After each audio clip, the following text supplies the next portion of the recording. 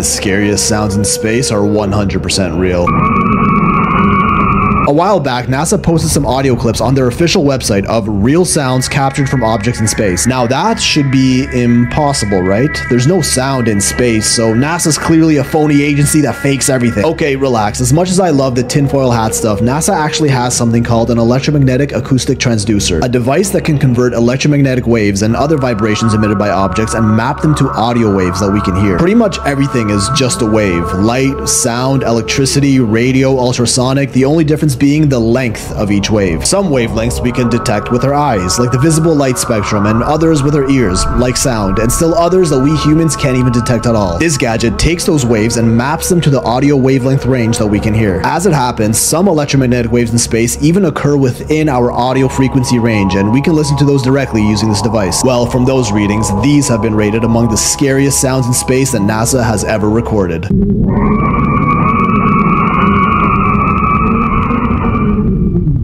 That just sounds like a howling breeze in the middle of winter to me. This one, this one makes sense to me. A pulsar is a rapidly rotating dead star. I could imagine one would sound like that.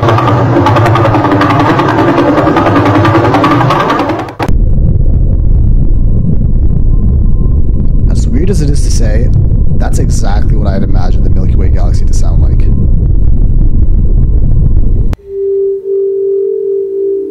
What? Nah, nah, nah, bro. That's fake. That's fake. This one I'm calling cap on. There's no way. Nah, nah, nah, nah, nah. Th- This one ain't real. That ain't real.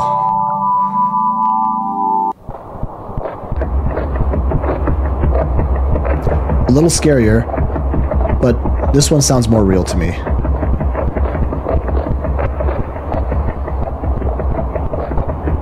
Okay. A little creepier. Sounds like there's something going on over there. The moon.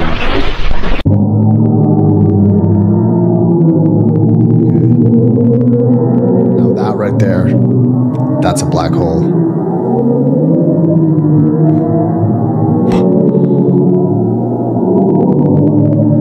Yeah, that's definitely not a place I want to be.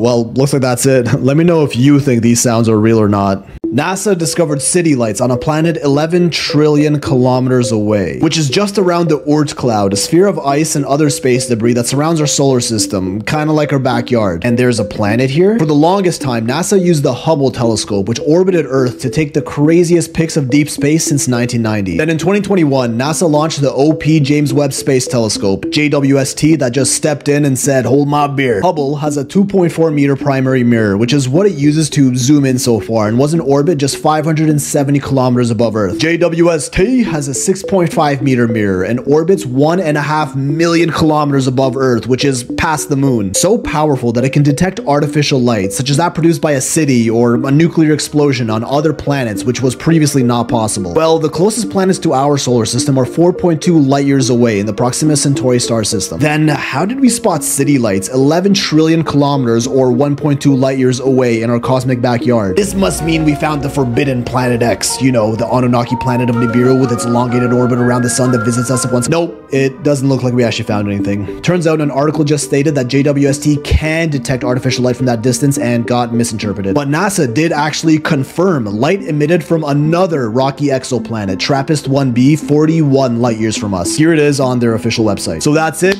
Alien civilization confirmed, right? These must be city lights. Well, with an average daytime temperature of about 230 degrees Celsius, it might be a little too hot for comfort. Maybe life on this planet adapted to the hot temperatures with like thick skin or underground bunkers that keep them safe. Maybe, but the more likely possibility is that this light was just the solar rays of its home star bouncing off the planet's atmosphere. NASA's final answer. Basically, just this planet's version of Aurora Borealis, the northern lights, which JWST just happened to catch on camera. Which, if it does produce northern lights, it may have a significant atmosphere, and that's always promising for life. TRAPPIST-1b is also tidally locked, meaning one side is always facing the sun, which may be too hot for conventional life, and the temperatures would be cooler on the night side, probably freezing cold, but that would imply a perfect temperature Goldilocks zone ring around the planet for life to potentially exist. All we know for sure is that this was the first detection of any form of light emitted by an exoplanet as small and as cool as the rocky planets in our solar system. Maybe it was just stray solar radiation bouncing off the atmosphere, but maybe we just saw the first glimpse of intelligent life in our galaxy. Just like when astronomers detected a repeating radio signal coming from another exoplanet, YZ Ceti b, only 12 light years from us, which was swept under the rug. A repeating radio signal coming from another planet?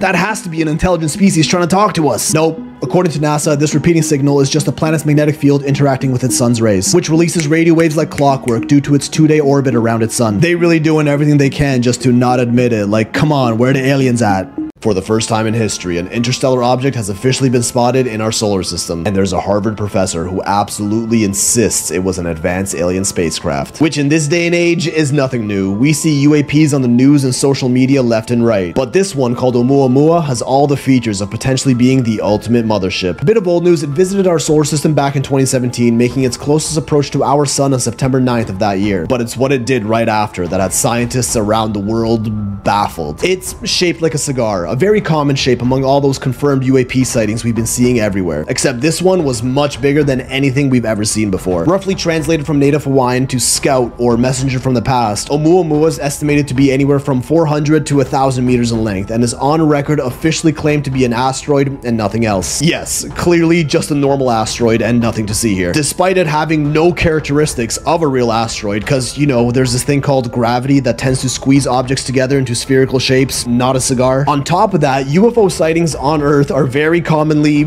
cigar shaped. We'd imagine any interstellar object in that shape to be part of the same family. This one also happens to be the first object from deep space, something we've never seen before. What are the chances that the first asteroid from interstellar space looks nothing like any local cluster asteroids we've ever seen before? Because Oumuamua came in hot, and I mean hot. What really caught astronomers off guard is when they observed Oumuamua, its trajectory did not support classical Newtonian physics, and it actually sped up by itself, which they confirm was not as a result of the sun's gravity. Yes, it accelerated on its own. It even continued to get faster after passing our sun and flying through the rest of our solar system, something that is never supposed to happen. On top of that, it followed a path that scientists claim would have been ideal for exiting our sun's gravity, all by accident. The counterclaims to this acceleration are that it received a push from the pressure of our sun's radiation, or that it may have warmed up as it got close to the sun, released frozen gases inside, which propelled it forward. Forward, except no trail of gas was observed and would have likely caused an erratic, irregular orbit instead of the smooth path we see it follow. Scientists even confirmed that its trajectory around the sun was not following Newton's laws, meaning that something we're not aware of was affecting its motion, such as a propulsion system. In June 2018, highly esteemed Nature Science journal published their analysis, noting an unexplained change in speed from 57,000 miles per hour as it entered to 97,000 as it left our solar system, a 70% increase. Stuff like this just doesn't happen on its own, and again, this was confirmed to not be as a result of the sun's gravity, as one might expect from the slingshot effect. Then, in November 2018, chairman of Harvard's astronomy department, Professor Avi Loeb, wrote a paper about this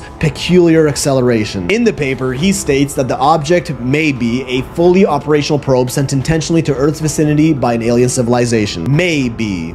Maybe not. It's currently on its way out of our solar system, too far away to see anymore. In January 2022, researchers proposed Project Lyra, where we'd launch a spacecraft to Oumuamua for closer study. But it would take 26 years to catch up to it, on top of the years they'd need to actually build the craft. So you think it's worth it? And would they even tell us the truth if it actually was an alien mothership? A 32 kilometer high tower is being planned that will be suspended from an asteroid. Yes, 32 kilometers. That's 20 miles high and it's totally real, proposed by Clouds Architecture in 2017. For reference, the current tallest building in the world is the Burj Khalifa in Dubai at 830 meters. This will be almost 40 times higher. Called Analemma Tower, it's planned to be attached to an asteroid 50,000 kilometers in space, suspended by a series of cables that will hold the building in place. The asteroid will follow a figure eight path in Earth's orbit, moving moving at 480 kilometers an hour, so the tower will actually fly through different cities every day. This mega high-rise will sort of be its own self-sustained city, not even connected to the ground and divided into separate sections, each with their own purpose. Starting with entertainment, shopping, dining, and office spaces at the very bottom, we go into the gardening and agriculture section and then the residential above that. The monument, which will probably be for like nice views and sightseeing, worship for religion, and reliquary, which is a place used to store sacred relics. I kind of wonder what they're going to keep there. Then at the very top is the funerary,